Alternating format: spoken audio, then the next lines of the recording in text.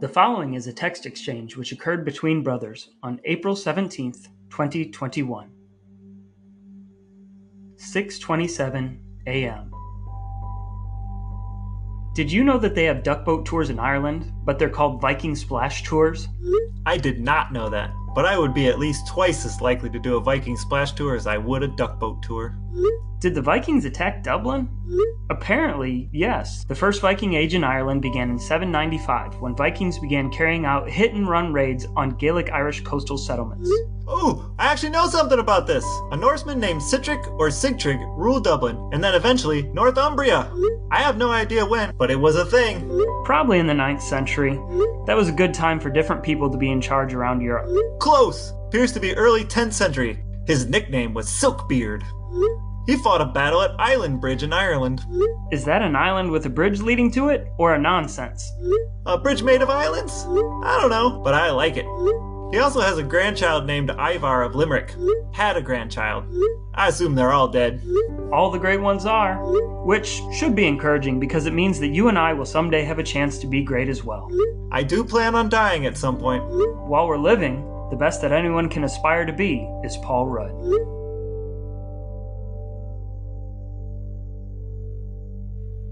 Straight from the heartland. This is Things I Text My Brother.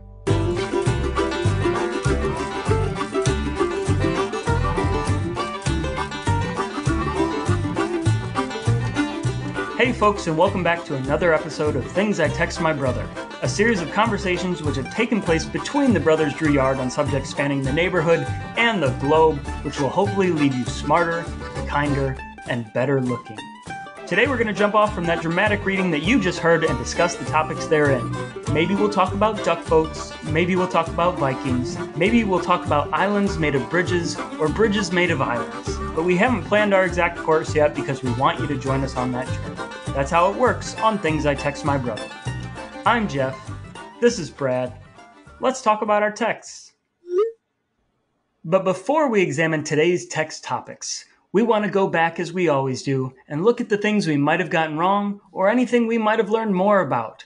It's time for ablutions and edification. So, unfortunately, in our last conversation around Denville Curry and, and his missing vocal cords, I brought up a conversation about the power of myth. And uh, I said that I watched that on NPR, which would be quite the trick. I indeed watched it on PBS. I feel cleansed. Yeah, I mean, there is a great shame in confusing the two pillars of NPR and PBS, and I hope you felt stupid initially, but I'm also glad that you've addressed that now. I made no errors in the last episode, at least none that our giant audience has told us about yet. So I have nothing of which I need to cleanse myself. Do you have other terrible mistakes you'd like to fess up to? I feel like I've taken my beating. I'm ready to move on. Excellent.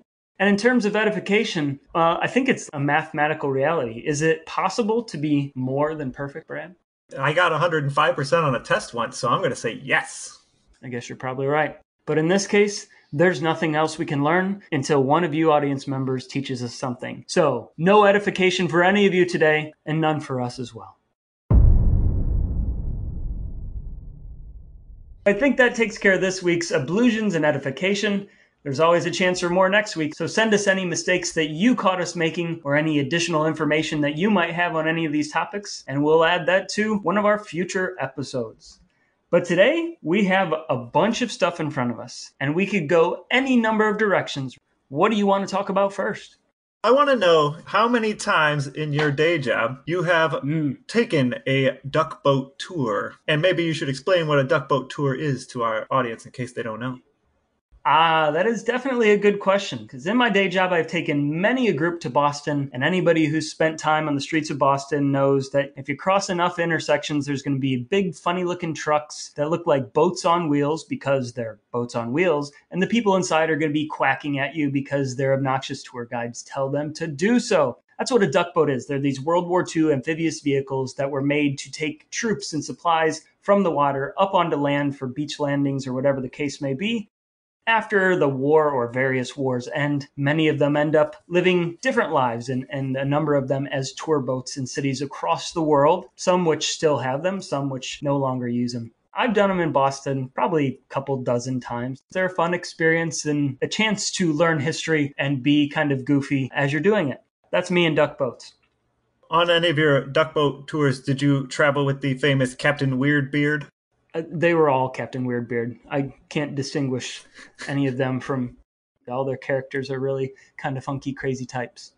Do you feel lucky that you're still alive after having gone on these duck boat tours? Because they've read, had some incidents, haven't they? No, since 1999, there have been 41 people who have died on duck boat tours in various places. For bike riders killed by duck boats, walkers killed by duck boats. It's a dangerous game. Duck boats have also caught on fire. Um, duck boats have sank in the middle of the water. I think the most famous incident happened a few years ago when the one in what was it, Missouri or Arkansas? There was one in Branson. Sank in the in the storm in kind of a yeah, bigger body of water, which then I think all the other duck boat companies that operate on little canals and tiny rivers were saying we're not taking this out into the middle of, of the Atlantic Ocean or something. So they shouldn't face the types of waters that caused that incident. But yeah, a number of the other things, like where they're hitting people at traffic lights because of blind spots that they have, duck boats have a, a little bit of a sketchy record. For me personally, they were always very enjoyable, very fun. I had a good time. I would gladly go on them again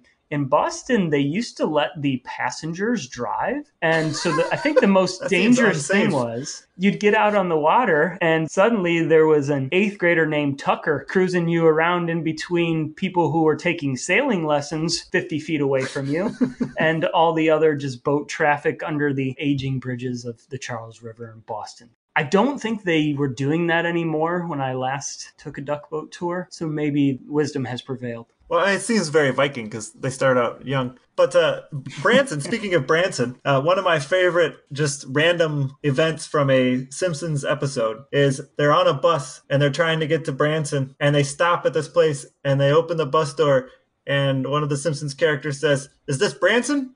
And you pan to this woman and her baby who both look like Charles Bronson. And the baby says, Nah, this is Bronson. uh, anyway, do you know where the first duck boat tour was? Wisconsin, in the Wisconsin Dells, which I've not been to, but that's where it was. Bob Unger in 1946. Yeah. Do you know how duck boats got their name? I do know that it came from GM, General Motors manufacturing codes. I've seen and heard some different actual descriptions about exactly what each letter meant according to the GM code. Do you have that? Now, what I have is that it was DUKW.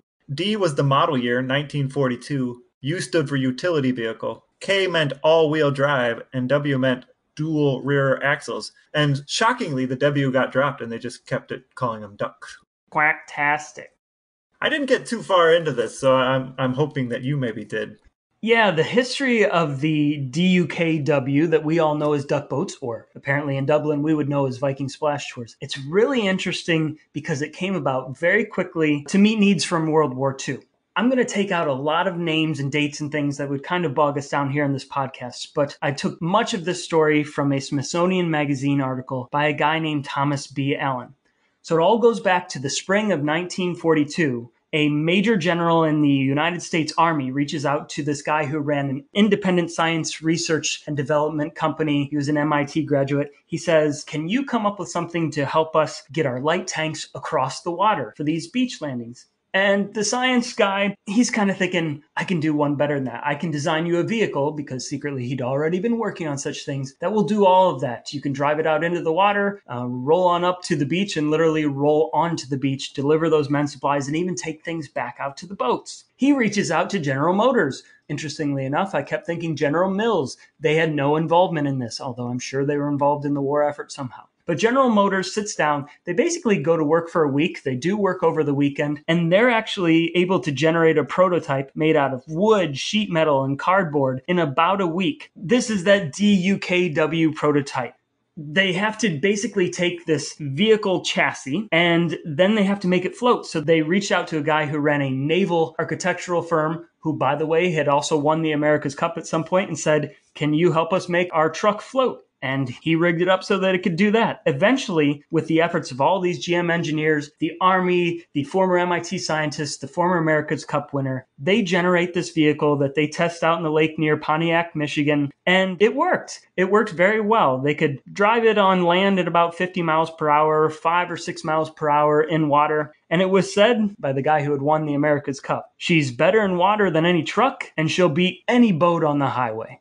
They produce some of these. They're trying to actually convince the higher ups in the military to go forward with these. So originally they produced 2,000 of them. The Army doesn't show great interest. A guy named Patton shows a little bit of interest. He says, send me all of them you can. He's over in Africa at the time. So he gets sent some. Eventually we send some other ones for the naval landings in Sicily. Um, they are used in the D Day invasion as well. But before all that, the people who had generated this vehicle had to convince the government that it was worth investing in. And so they assigned somebody from the OSS, the intelligence agency, to create a documentary about the boat that would convince the higher ups to give it approval so they could produce a bunch of them and so that it didn't just end up kind of sitting in warehouses in Detroit. Some 90 military officers and civilians were invited to a demonstration off Provincetown, Massachusetts on Cape Cod in the first week of December 1942. The plan called for DUKWs to unload a ship and carry her cargo inland. Then, on the night of December 1st, a storm of near hurricane force hit Provincetown. As it happened, the Coast Guard yawl Rose, conscripted for wartime, was watching for German U boats.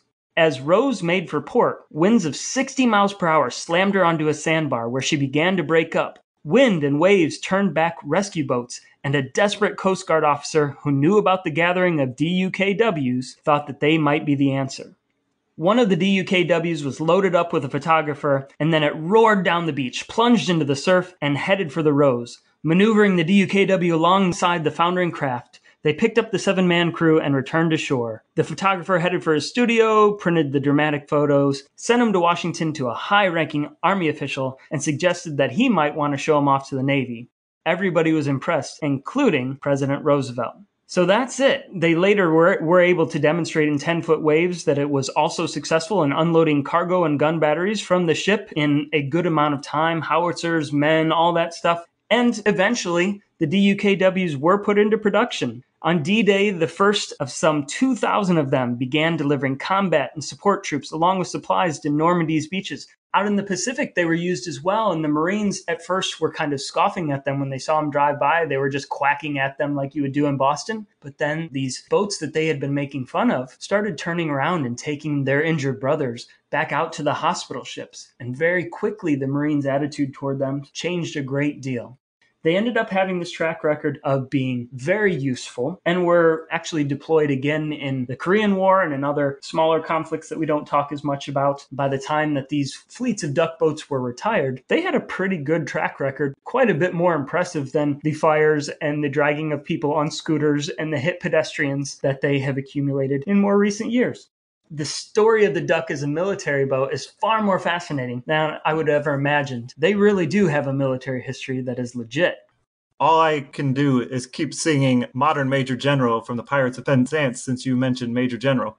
I am the very model of a modern major general. I've information, vegetable, animal, and mineral. I know the kings of England, and I quote the heights historical from Marathon to Waterloo in order categorical. I can't get it out of my head now. Thank you very much. I don't know anything about that. Well, you're missing out because that's a great song. So there's a connection then, obviously, from the duck boats being used in Normandy to the Irish calling them Viking splash tours because, you know, the Vikings were all over Normandy. They were all over that part Yeah. of France, right? And Oh, William sure. the Conqueror, who then took over England at some point in 1066 and all that. Mm-hmm. So I have a question for you, though. Here you are in Dublin, right? Having no, I'm these not. I'm, Viking. I'm actually I'm in Ohio. Thank you. So here you might be in your mind in Dublin, taking this Viking boat tour, right? If they're still in operation. So you're Which taking this. we, to- we know we should mention that they shut things down for the pandemic, and I don't know that they have or intend to reopen. We'll leave that as a question for the universe to answer. But anyway, where were you going? Yeah, so you've got Dublin. The Vikings came in and took it over for a while in the late 700s through the 900s, or however long they lasted there. And so now you're a modern Dublin person and you're riding on Viking boat tours. I was trying to think of what an equivalent might be. Like in Paris, they might be riding around in chariots after the Romans had taken over and then hmm. left. in Cleveland, you might be riding in Ford Broncos because you were defeated by the Denver Broncos on a regular basis. Although we've never beaten them in the, to get to the Super Bowl, so I don't Too know. Too soon. Too soon. It'll always be too soon. I I went to Denver on a conference at my job. How dare you? and I was uh, standing across a highway from Mile High Stadium, and I I did I admit start yelling obscenities at the stadium. I couldn't help myself, and this old Yeah. guy starts walking by, and he looks at me, and I said I'm fr- I'm from Ohio, and he says carry on. Can you think of any other equivalents? Because that that just fascinated me that they So they're we're basically saying the Vikings who beat them, and the French would be celebrating. You know, verse what was his name? Verse. Uh, Ver- I never know how to pronounce it. Yeah, Yeah. yeah, and you know he he got beaten up by the Romans, and now they'd be riding in chariots. I don't know. Yeah, well, if we're doing things in sporting terms, it'd be as if there was a boat tour in Ann Arbor, Michigan, which was celebrating all things of the Buckeyes who have conquered them. That could happen too. I don't know what they would yell. I don't know, but they what would they be riding around in a giant Buckeye? Yeah, they'd ride around in a giant Buckeye helmet or a giant Buckeye leaf, or several Brutus the Buckeyes would carry would walk around carrying them on their shoulders. I like that. I be like fantastic. I like that. So I was thinking a little bit about Sigtrig and his uh, movement from Dublin into England, into Northumbria, which is the name Northumbria comes from north of the Umber, just in case you ever wondered. Do you know what an Umber is? An Umber is a river Oh, in okay. uh, in northern England. So they had Northumbria, Mercia, East Anglia, and Wessex. I have watched quite a few shows about Vikings and read a few series about Vikings. So this is a time period I'm a little bit knowledgeable of. But I was looking at Island Bridge in Dublin, which is a Yeah. place, it's a bridge that goes over the River Liffey. And I like the name River Liffey. So I was looking at other rivers in Ireland. And the only one that I really liked is they have a river in Ireland called the River Suck. And I liked that a lot. Yeah. There's also an island, which I knew before. Alfskar's Island, or Ailsa Craig, is what it is now. And uh, that's where all the curling stones and major, major real curlers, all the curling stones are made from blue hone microgranite on this little island between Ireland and Scotland that has a Viking name. I also went down this path because I was thinking about Vikings, and you've got Ragnar Lothbrok and Bjorn Ironsides and Harald Bluetooth and Harald Finehair and Harald Wartooth and some non-heralds, Olaf the Brash, Eric Bloodaxe, Sigurd Snake in the Eye. You got all these great Viking names, and so I said, "Well, I wonder what Lodbrok, Ragnar Lodbrok, stands for." And since he's the Mhm. character that's in all these books and and movies, it actually means hairy breeches. Yep, Hairy have- Breeches. I saw that too. And I also read that he had to design hairy Breeches because he needed to fight a dragon. What do you need when you got to fight a dragon? You definitely need some shaggy breeches to fight a dragon. So that all makes perfect sense, right? Well, I thought I, I read that it was to keep away venomous snakes, but since there are no snakes in Ireland because St. Patrick scared them all away, Mm. that w- he certainly didn't end up in Ireland. I read that uh, Ragnar with the shaggy breeches, his son, one of his sons, Ivar the Boneless, Yeah, They're not entirely sure what boneless meant. Like, did he have a brittle bone disease? Some said that maybe he was impotent. But either way, it seems a little bit rude to be taunting Ivar by calling him the boneless because he's breaking his legs or has other issues. Why they gotta pick on Ivar?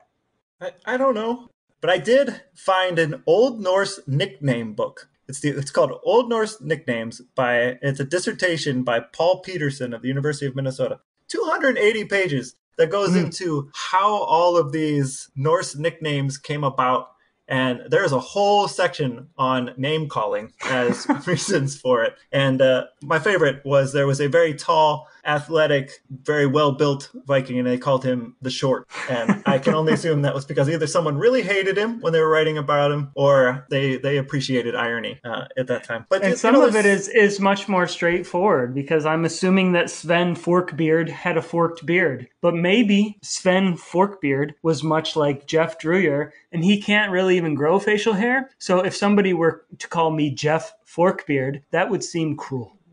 There's just, you know, there's some great nicknames across, not just in the Vikings, but across all the rulers. I wonder how many of them were actually used to their faces and how much of it is uh, after the fact. Like there's Ivaylo, the Czar of Belgium. His nickname was Cabbage. And they said that hi- that actually was his nickname when he was alive. He was a peasant, and his nickname when he was a peasant was actually Cabbage. And then when he fought his way up to Czar, he just kept the nickname. So they called him Cabbage, you know? And then you've got Ivan the Terrible, Bloody Mary, all these different nicknames, and, mm-hmm. you know, Charles the Simple. So, how many times did they actually use those nicknames? But that whole genre of nicknames for all these people all over the place just fascinates me. Yeah, they definitely had some good names. And these are the people who the original question in the text was. I feel we'd be remiss if we didn't mention. I asked the question Did the Vikings attack Dublin? And in a greater unspoken question was Did the Vikings spend a bunch of time in Ireland? Was what I was asking. Now, you would have known the answer to that. You did know the answer to that, and you, and you said that. Ireland was basically Viking central for several hundred years there between the 8th century and the 11th century. And it started out with these small bands, maybe two or three of these Viking boats come over, and they would just be, you know, a quick hit and run. They'd come in, they'd float their Viking boats, which were not World War II military amphibious vehicles. Uh, they'd float them up to shore, they'd attack quite often a monastery or something like that because they found out there were good relics there and they were pagans, so they didn't have that code of not attacking the church. They take what they need and they just take it back on home and sell it off, like we see in the incredible program Norsemen, which everybody should watch. But then they scaled the operations up and they started showing up with 50 or 100 uh, Viking ships. They'd pull up, they'd set up a camp. In fact, that's Dublin is kind of that story. It was a small settlement beforehand, but really the Vikings kind of created Dublin by showing up there, turning it into a big camp that ended up remaining as a settlement afterwards. But many of these camps they would stay in for a month, a couple months, a year, and they would raid the entire countryside from these camps. So yeah, they were there, and I feel dumb for not having known that. Well, it's it's amazing if you look at it, right? The Vikings, everybody thinks of them as these warrior marauders, and they were, right? And they attacked and they did things, but they came they conquered, then they stayed and made lives for themselves. Like I said, yeah. Normandy, Brittany, that was all Old Norse Vikings. And then you had Ireland, and they were there, parts of especially the north and the uh, east of, of what's England, right? They never conquered mm-hmm. Wales, they never conquered Scotland, really. They had Danelaw between Northumbria and East Anglia, all that area. But just as the English kicked them out, a French speaking Viking from Normandy took it all. Oh, those Vikings. They were almost certainly not wearing horns on their helmets. What were they wearing? I, I, I have done no research on this, but Brad, let me ask you the question. What, if anything, were the Vikings wearing on their heads? Not hairy breeches. Fair enough. So let me ask you if you were to go on an amphibious adventure to a far off land and conquer the natives, what helmet would you choose to wear? I would wear something that had big horns on it, like mountain goat, you know, big curly horns that oh. go around. They don't stick out on the top, they go around your side, like Tim the Enchanter from. You call him Tim? So you're saying you're not wearing a Minnesota Vikings Viking helmet, you're wearing an LA Rams helmet. Yes, good job remembering they're in LA now. Are they in LA? I was thinking of that as I said it. Yes, they are. They are. Yes. Uh-huh. The other thing that I mentioned in the text exchange, which is probably near and dear to the hearts of many in contemporary society, is that, you know, we as humans can all aspire to something. And perhaps a, a dream of yours might be for somebody in this world to aspire to be Brad Drouillard someday, or at least to exhibit the qualities of Brad Drouillard. I don't but in the absence to be of... that. I don't even aspire to be Brad Drouillard, just so you know. Oh, well. Well, you, just like the rest of us, could aspire to a higher being then and the one that I specifically mentioned was Paul Rudd. I stand by that statement. That's not one that we'll have to do any ablutions on or anything like that. If anyone is lacking evidence, and I, I, don't know who you are or why you have this affliction that you don't understand the value of a Paul Rudd. If somehow you find yourself to be the human uh, in at least American contemporary society who doesn't understand Paul Rudd, I would like to direct you toward the search engine of your choice, where you should enter the words Paul Rudd and let's say You Spin Me Round. Now, I think many of you probably know the song by Dead or Alive from 1985, You Spin Me Right Round. Paul Rudd and James Fallon have done a not just scene by scene, but second by second remake of the video from 1985. It involves 80s tease hair and eye patches it is an absolute treasure. It is Paul Rudd being the genius that he is. He's also done other performances with Jimmy Fallon in the same manner. I give an honorable mention to The King of Wishful Thinking, a song from 1990. In that song, if any of you appreciate aggressive shoulder dancing, especially aggressive shoulder dancing done by people wearing tank tops, look no further than Paul Rudd's King of Wishful Thinking. I can't say that I have the same fascination with Paul Rudd that you do. I accept that that's who you want to be. I mean, as your older sibling, I'm hurt that you don't want to be me, but then again, neither do I. So, as my older sibling, you're hurt because I spent many years attempting to hurt you, and those years aren't done yet. I've been warned. Well, brother, there's one man who would never try and hurt either of us. He's not an ordained minister. He's never been in a video remake with Jimmy Fallon, and he has yet to acquire his menacing Viking nickname, although there's still plenty of time. We know him as Father Art, and we're going to ask him some questions.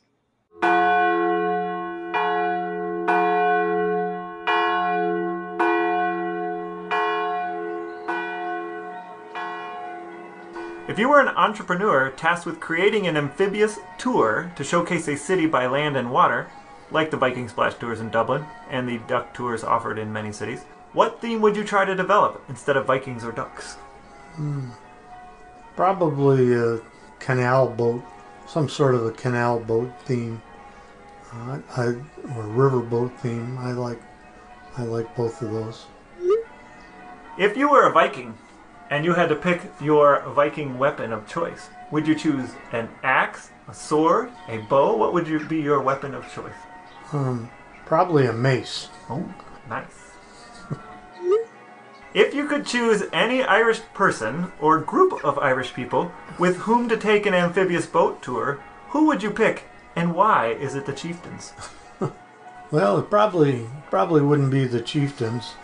Um, maybe cherish the ladies because uh, I enjoy their New York accents. In a very broad sense, meaning your answer can be historical, fictional, sports related, or any topic of your choice. Who is your favorite Viking? Boy, probably uh, Robert Smith, the running back. He he he would be my favorite Viking. Um, I'm not sure I have a favorite pillager.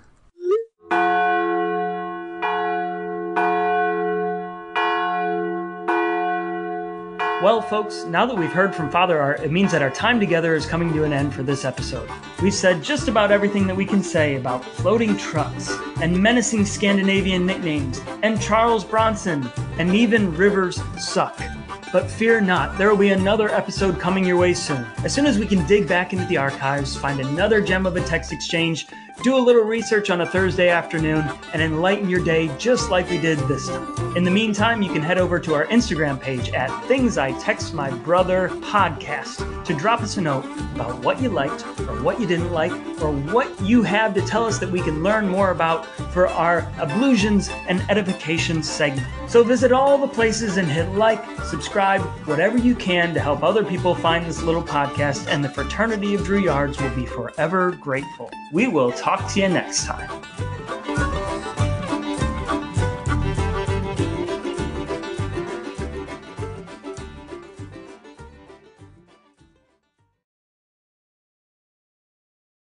And there's just so much I don't know. It'd be interesting if I had some outlet that I could benefit from finding random bits of information and exploring them for three to four hours on a Thursday afternoon yeah, I just wish there was. I wish there was something like that. Some something to do with it.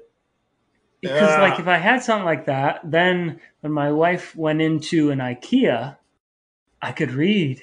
I don't mind IKEA. You get to sit on all the furniture. It's exciting. Uh, boom, boom. I like it. That was good. You nailed it.